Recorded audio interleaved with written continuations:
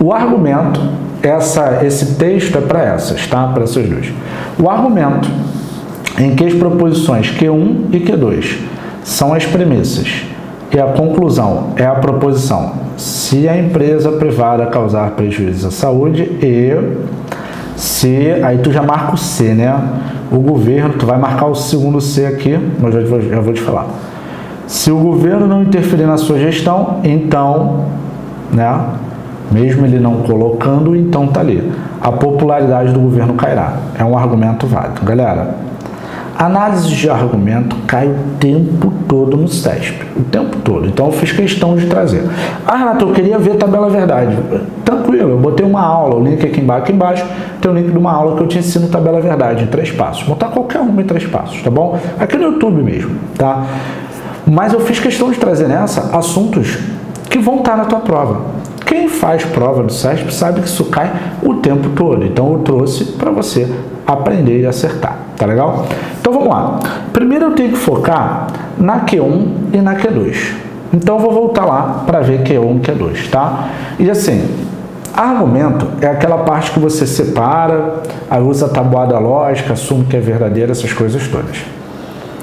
Se você nunca viu, tá? Tem uma, uma aula que vai te dar uma ideia bem legal que eu coloquei aqui embaixo também, uma aula de exercícios, mas não é específica do SESP, porque argumento no SESP é uma coisa diferente, tá? Tem que estudar ali, é de verdade. Então, mas vamos lá, vamos fazer aqui, vamos aprender. Q1 e Q2, vem comigo. Deixa eu apagar isso aqui para pegar o Q1 e o Q2, tá bom?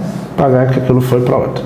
Lembrando, quando você tem o texto e vários itens dele, você tem que lembrar que fez o, o item 1, o primeiro item, eu esqueço, volta tudo e volta no texto normal, não uso para nada. Um não está ligado no outro, tá? A não ser que ele fale. Nesse caso ele não falou, então não está ligado.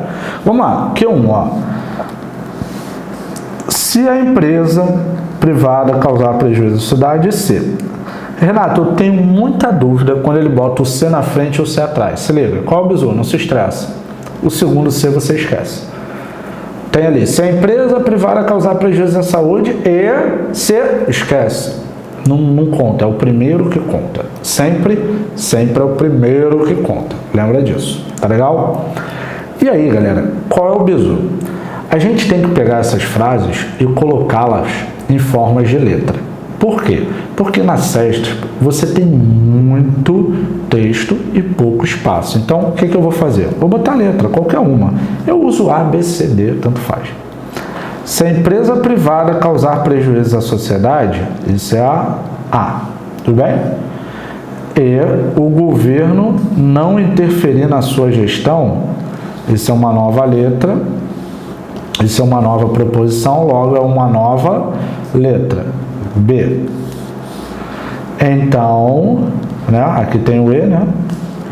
O governo será visto como fraco, C. Então, Q1, galera, é desse tipo, ó. A e B, então C. Tudo bem? Q1 é desse tipo, A e B, então C. Show de bola? Agora vamos lá ver Q2. Quem é Q2, galera? Quem é Q2? Vamos lá. Se o governo for visto como fraco, opa, aqui ó, C é o governo for visto como fraco, C, então a popularidade do governo cairá. Olha só, a popularidade do governo cairá não apareceu ainda, então é D. Então aqui fica C, então D. Mas Renato, isso aparece lá em cima. Gente, o que, que eu falei para você? É para excluir. Ele falou só de Q1 e Q2, então tu foca só nisso. Então, essa é a parada. A e B, então C, eu vou trazer para cá. Eu tenho Q1. É isso aqui, A e B. Então C. E tenho que Q2 é isso aqui. Deixa eu voltar. C, então D. Ok? Beleza? Agora, essas são as premissas. Agora ele quer a conclusão. Fazer o traço, que é o que separa a premissa da conclusão, tá? Conclusão vai ser, se a empresa privada causar prejuízos à sociedade. Eu vou ter que voltar lá e ver. A empresa privada causar prejuízos à sociedade. A. Tem que ficar indo e voltando, cara, na prova. E aí tu já está malandreado que esse C não serve, você risca ele o governo não interferir na sua gestão. Vamos ver? O governo não interferir na sua gestão. B. então a popularidade do governo cairá. Ó. A popularidade do governo cairá é D. D. Renato, eu estou com uma dúvida. Diga. Aqui ele botou o governo não interferir na sua gestão. Eu colocaria não B. Tanto faz. Não tem problema. Você pode botar B ou não B, vai dar no mesmo. É só quando, por exemplo, para o governo não interferir na sua gestão. É B. Quando aparecer o governo interferir, fica não B. E vice-versa, então não muda. Então aí você tem um argumento. Galera, para resolver argumento, existem algumas maneiras, né? A primeira maneira é você assumir que tudo é verdade e ver se a conclusão é verdadeira. Mas isso você só faz quando nas premissas tem e ou uma proposição simples, que não é o caso.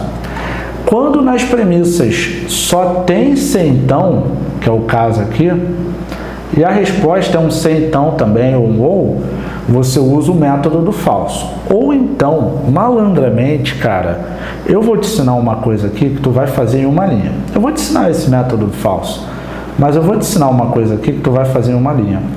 É o que nós chamamos no método MPP de regra do corte. Isso tudo tem lá, vai ter lá no nosso curso. Nós estamos essa parte nós estamos gravando, né? Então vai estar disponível. Acho que semana que vem já tem tabela verdade, já começa a ter essas partes, tá bom? A regra do corte, galera.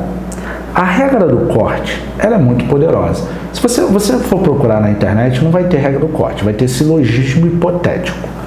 O que, que diz ela? É muito poderosa e para essa questão você mata em dois segundos. Olha para cá. Silogismo hipotético é quando você tem o então. E os caras, as proposições que estão na diagonal são iguais. Ó, olha as que estão na diagonal. Aqui é B, aqui é B. Eu posso cancelar. A minha conclusão é A, então C. Acabou. Essa é a conclusão. Tá? Você usa quando tem se então, se então e a resposta se então. E tem na diagonal igual. Tanto faz a diagonal. Pode ser aqui também, ó. A então B, C então A. Pode ser aqui também. E aí, tu vem aqui, ó. Opa, na diagonal igual, C então B. Eu acho, só acho, que a essa altura você já resolveu. Vou deixar só a tela aqui. Tá aqui só a tela, tá? C então B. Eu acho que a essa altura você já resolveu, né? Por quê? Olha a nossa questão. Q1, quem é Q1? A e B. Então C. E aí C, então D. E a conclusão é A e B, então D. Cara, olha pra cá. Regra do corte, ó. Vai embora. Quem é que sobrou aqui, galera? Sobrou A e B, então D, que é a minha conclusão. Logo, o meu argumento é válido. Acabou. Pega isso, que isso é muito poderoso. E se você sabe disso, vou voltar aqui que não cortou. Se você sabe disso, olha o tempo que tu ganhou. É isso que eu quero fazer com você. Você olhe para a questão e fala, não, é isso, acabou. É isso que a gente vai fazer com vocês, tá bom? Segue, é a frase que a gente diz, apenas siga o método. Olha para a questão e pluf, corta, acabou, tá feito, é válido. Então, o argumento é válido? Sim, e tem o que? Certo, acabou. Lembrando lá do início. Show de bola? E tem certo. Acabou. Opa, gostou dessa dica? Então, se você quer acertar 80% ou mais na prova de raciocínio lógico da INSS, então você precisa vir para o grupo dos 5% no nosso curso para o INSS. Tá aqui o link na descrição para você fazer a sua matrícula e chegar ao seu próximo nível no raciocínio lógico gabaritano e usando a seu favor. Você sabia que 95% dos estudantes saem do ensino médio sem um conhecimento adequado? E apenas 5% têm esse conhecimento adequado. Logo, são esses que passam no concurso. Então, se tu quer passar no concurso, você precisa usar o raciocínio lógico a seu favor. Então, ó, já clica aqui na descrição e faça sua matrícula no nosso curso do INSS e venha para o grupo dos 5%, o grupo de alunos que estão acertando 80% ou mais em qualquer prova de concurso utilizando o método MPP para gabaritar. Tamo junto, para cima deles e vejo vocês nas aulas do curso. Até lá!